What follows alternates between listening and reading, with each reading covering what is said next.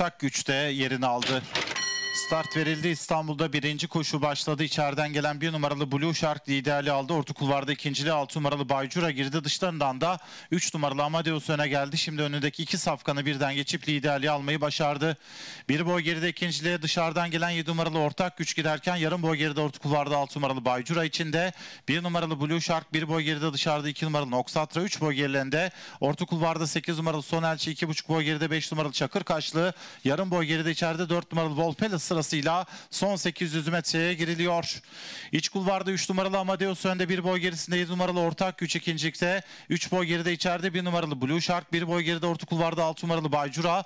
Onun 1,5 boy kadar gerisinde 2 numaralı Noxatra var 1 boy geride dışarıda 8 numaralı Sonelçi yarım boy geride içeride 5 numaralı Çakır Kaşlı onun içinde de 4 numaralı Volpelis sırasıyla düzlüğe çıkıldı.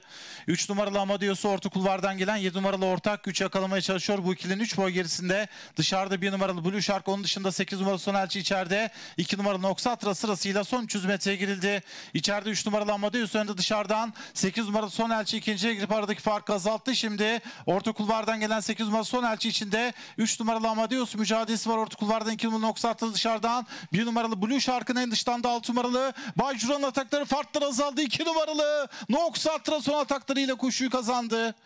Bir numaralı Blue Shark ikinci olurken 8 numaralı Sonelçi, 3 numaralı Amadeus, 5 numaralı Çakır Kaşlı'da üçüncülük için potoyu birlikte geçti. 2 numaralı Nox Atra Vedat Abiş de birinci koşuyu kazandı.